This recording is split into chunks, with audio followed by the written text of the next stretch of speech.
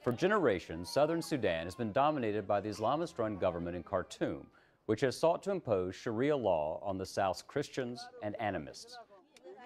Religion is one of the main causes of two bloody civil wars that have killed two million southern Sudanese. Another point of contention control of Sudan's oil reserves that lie mostly in the south and along the border with the north. If, as expected, the South votes to secede, Many fear another wave of violence, despite assurances from Sudan's president, Omar al Bashir, that he will accept the results of the election.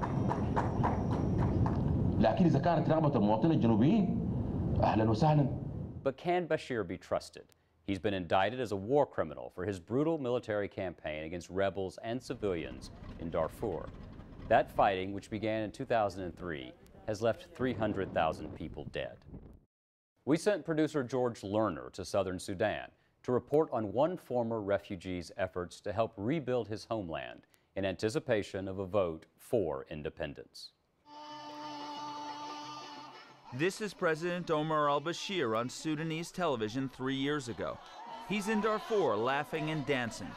It's days after the prosecutor of the International Criminal Court accused him of masterminding a genocide there. Bashir's response? Travel to the scene of his alleged crimes to send the world a message.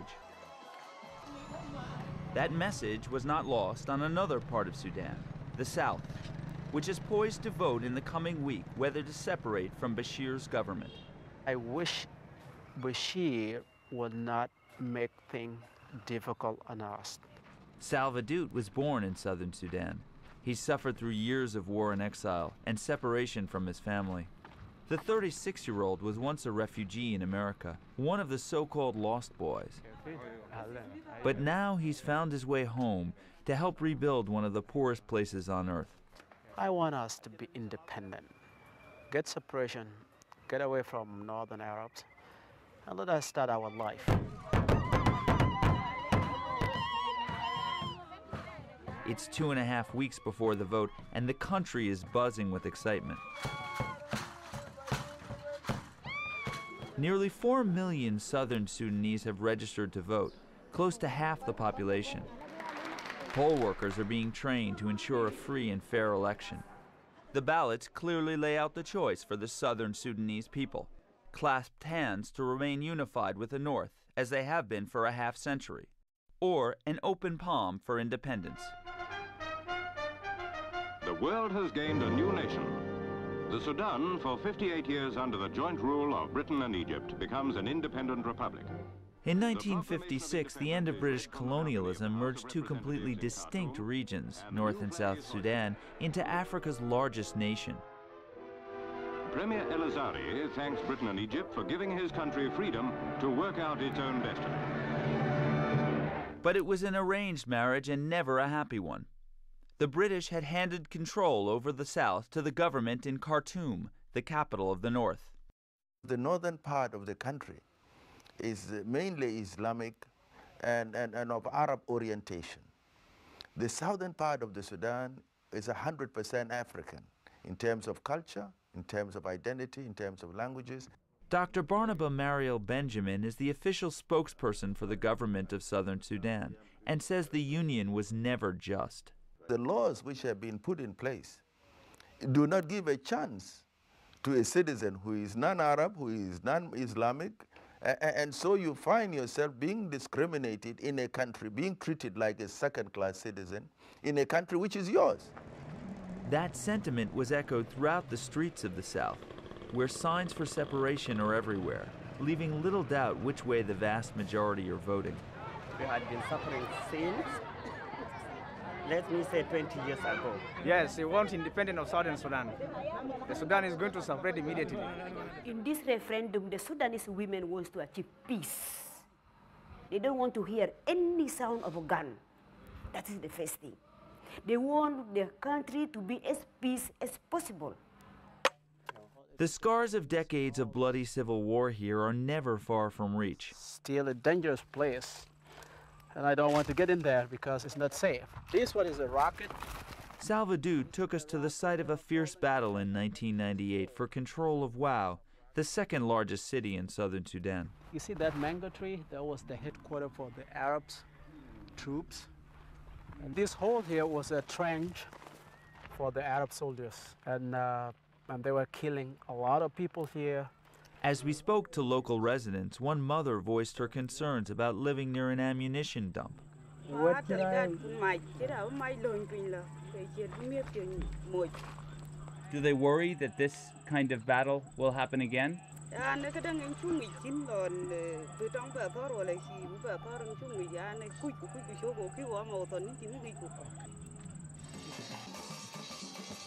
Life has been relatively peaceful in southern Sudan for the past six years.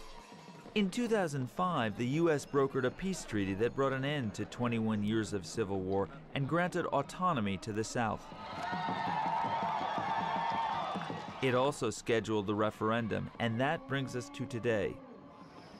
Those who had fled southern Sudan are now flocking back to their homeland. This woman and her five daughters relocated from Khartoum last month, where she had lived for the past 20 years.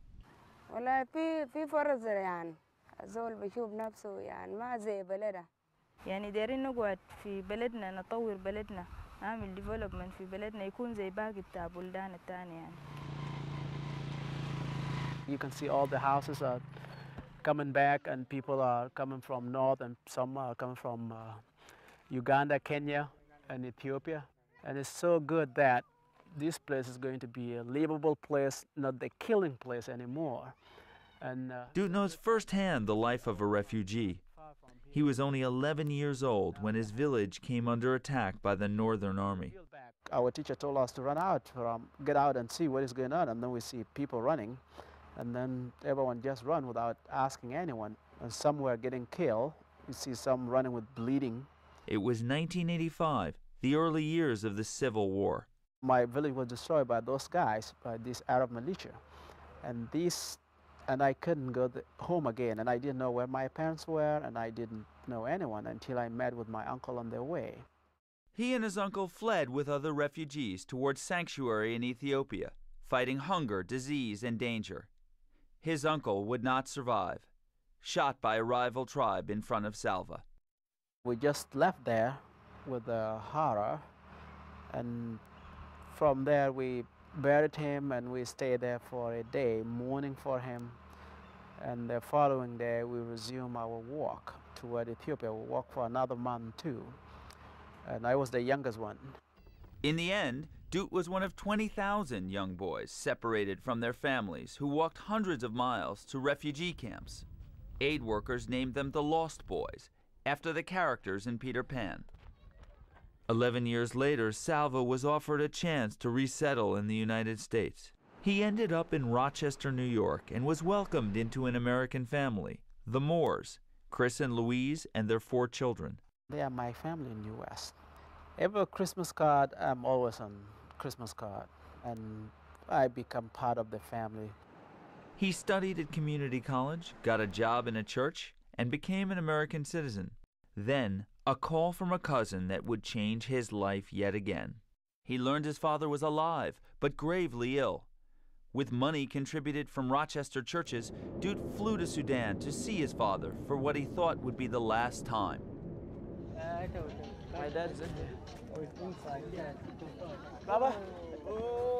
In. In this video, a few years later, Dut retells the story of their reunion. I didn't know where my dad was for about 19 years. And when I went there to that clinic, I said, Hey, Dad, how are you? And he said, Who are you? I said, I'm Salva Dut. And uh, he was starting with emotion. And uh, he sprayed the water on my body and said that it's, it's a sign of the welcoming back. He feel like I was dead and now I'm coming out from the tomb. Water would become critical to Dut's story. It was a waterborne disease that made his father ill. Ironically, while southern Sudan is a fertile region filled with rivers and arable land, most of the population lacks access to clean water. The problem is, the fresh water lies in aquifers deep beneath the surface, and it takes a well to reach it. Getting people clean water is a huge challenge in southern Sudan because there is very little infrastructure. Most of the people don't live in cities. Most people live in really rural places where they exist on what they can scrape out of the ground. Susan Purdin, the director of the International Rescue Committee in southern Sudan, explains why dirty water can be lethal. Diarrhea is one of the leading causes of death of children under the age of five years. And in a place like southern Sudan where there's so little access to improved water sources, um, kids have diarrhea frequently. One out of every seven children here dies before the age of five. And the dirty water is not only dangerous for children, but also for adults, as was the case with Salva Dut's father. The doctor told me that if your father needed to live longer, he needed to start drinking clean water. When I went back to U.S., I said I should uh, do something to help my father and other people who are in the same situation. So Dut returned to the United States and founded a nonprofit, Water for Sudan, devoted to digging wells to provide clean water to Sudanese communities across the South. Six years after drilling his first well, Dut is taking us on a journey into the countryside, to the site where he's drilling his 79th well. The South has few roads. A 40 mile journey stretches into three hours. And here we are, long drive. Oh, here's the well. They finished it. Good man. Good guys. They struck the water, they load up, they test it, and uh, everything, and good. Yes, and I'm happy. And the villagers are happy too. The community pitches in, collecting rocks to form the well's foundation. The new well, near a school where 300 children attend classes in these thatched huts. The headmaster, Charles Magoka Kot, tells us how he has lost six students to waterborne diseases. He took us to the hole in the ground that until now provided the community's main source of water. This water, they are not good. They are kill children. There is some impact, yeah, disease. Do you drink this water? Yes.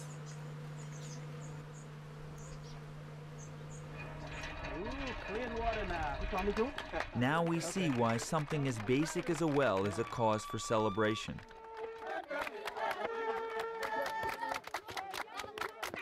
The money to drill these wells comes from America.